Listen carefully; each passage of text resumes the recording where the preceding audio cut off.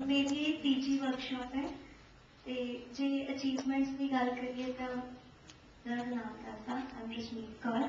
ਮੈਂ third year ਦੀ student ਹਾਂ ਇਲੈਕਟ੍ਰੋਨਿਕਸ ਐਂਡ ਕਮਿਊਨੀਕੇਸ਼ਨ ਬ੍ਰਾਂਚ ਜਦੋਂ ਪਹਿਲਾ ਵਰਕਸ਼ਾਪ ਆਈ ਸੀ, ਉਹਦੇ ਐਕਸਪੀਰੀਅੰਸ ਮੈਂ ਫੀਡਬੈਕ ਚ ਪਹਿਲਾਂ ਐਕਸਪ੍ਰੈਸ ਕਰ ਚੁੱਕੀ ਸੀ। ਹੁਣ ਜਿਹੜੀ ਚੀਜ਼ਾਂ ਸਮਝ ਆਈਆਂ, ਮੈਂ ਹਮੇਸ਼ਾ ਸੁਣਦੀ ਸੀ ਵੱਡਿਆਂ ਤੋਂ ਕਿ ਹਰੇਕ ਬੰਦੇ ਚ ਰੱਬ ਦਿਖਦਾ ਹੈ। ਮੈਨੂੰ ਲੱਗਦਾ ਨਹੀਂ ਸੀ, ਮਤਲਬ ਐਕਸਪ੍ਰੈਸ ਤਾਂ ਹੁੰਦਾ ਨਹੀਂ, ਠੀਕ ਹੈ ਇਹ ਚ ਕਿੱਦਾਂ ਹੋ। ਸਕਦਾ ਪਰ ਜਦੋਂ ਇਹ ਕੰਟੈਂਟ ਦੇਖਿਆ ਤਾਂ ਜਦੋਂ ਪਤਾ ਹੈ ਕਿ ਸਾਰਿਆਂ ਦੀ ਇੰਟੈਂਸ਼ਨ ਸੇਮ ਹੈ, ਸਿਰਫ ਕੰਪੀਟੈਂਸੀ 'ਚ ਫ਼ਰਕ ਹੈ, ਤਾਂ ਆਬਵੀਅਸ ਹੈ ਕਿ ਹਰ ਇੱਕ ਬੰਦਾ ਸਾਡੇ ਵਰਗਾ ਹੈ, ਇਹਦਾ ਮਤਲਬ ਹਰ ਚ ਰੱਬ ਹੈ। ਤਾਂ ਇਸ ਨਾਲ ਇੱਥੇ ਮਤਲਬ ਆ ਕੇ ਸਮਝ ਆਇਆ ਕਿ ਹਰੇਕ ਬੰਦੇ 'ਚ ਰੱਬ ਕਿੱਦਾਂ ਦਿਖਦਾ ਹੈ। ਉਸ ਤੋਂ ਬਾਅਦ ਮੈਨੂੰ ਸਰ ਅ- ਅਸੀਂ ਪਹਿਲਾਂ ਸਿਰਫ 3 ਡੇਜ਼ ਦੀ ਲਗਾਈ ਸੀ ਐਗਜ਼ਿਸਟੈਂਸ ਵਾਲਾ ਟੌਪਿਕ ਡਿਸਕਸ ਨਹੀਂ ਹੋਇਆ ਸੀ।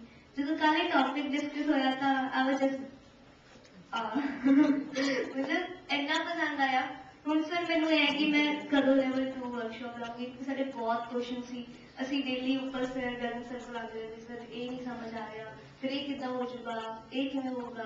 ਮਤਲਬ ਉਹਨਾਂ ਦਾ ਕੁਐਸਚਨ ਦੇ ਆਨਸਰ ਹੁਣ ਅੰਦਰੋਂ ਨਿਕਲ ਰਹੇ। ਮਤਲਬ ਪਹਿਲਾਂ ਅਸੀਂ ਪੁੱਛਦੇ ਸੀ ਕਿਉਰਿਓਸਿਟੀ ਸੀ, ਠੀਕ ਹੈ ਪਿਆਸ ਸੀ ਪੁੱਛਣ ਦੀ। ਬਟ ਫਿਰ ਸਰ ਉਹਨਾਂ ਨਾਲ ਵੀ ਠੀਕ ਹੈ, ਉਹ ਵੀ ਪ੍ਰਪੋਜ਼ਲ ਹੀ ਰੱਖਦੇ ਸੀ ਕਿ ਇਹਨੂੰ ਜਾਂਚੋ ਰੱਖੋ। ਤੇ ਹੁਣ ਜਦੋਂ ਉਸ ਚੀਜ਼ ਨੂੰ ਜੀਂਦੇ ਆ ਆਪਾਂ, ਇੱਕ ਸੈਲਫ ਦੇ ਵਿੱਚ ਜਦੋਂ ਸੈਲਫ ਨੂੰ ਐਕਸਪਲੋਰ ਕਰੀਦਾ ਆ ਪਹਿਲਾਂ ਗੁਰਬਾਣੀ ਦੇ ਮਤਲਬ ਸਾਨੂੰ ਜੱਜੀ ਸਾਹਿਬ ਦਾ ਪਾਠ ਕਰਦੇ ਸੀ, ਠੀਕ ਹੈ। ਬਟ ਉਸ ਲੈਵਲ ਤੇ ਕਦੀ ਸਮਝ ਨਹੀਂ ਆਈ ਸੀ।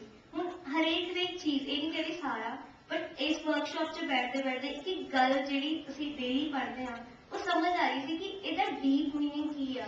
ਮਤਲਬ ਕਿਉਂ ਕਹੀ ਗਈ ਹੈ ਤੇ ਕਿਵੇਂ ਲਾਗੂ ਕਰਨਾ ਨੈਕਸਟ ਇੱਕ ਹੋਰ, ਬਸ ਲਾਸਟ ਇਹ ਕਿ when we change ourselves the world will change itself ਜਦੋਂ ਤੱਕ ਆਪਾਂ ਆਪਣੇ ਆਪ ਨੂੰ ਚੇਂਜ ਨਹੀਂ ਕਰਾਂਗੇ, ਆਪਾਂ ਐਡਜਸਟ ਨਹੀਂ, ਸਿਰਫ ਚੇਂਜ ਚੇਂਜ ਸ਼ੁੱਡ ਬੀ ਨਾ ਰਾਈਟ ਵਿਦ ਰਾਈਟ ਅੰਡਰਸਟੈਂਡਿੰਗ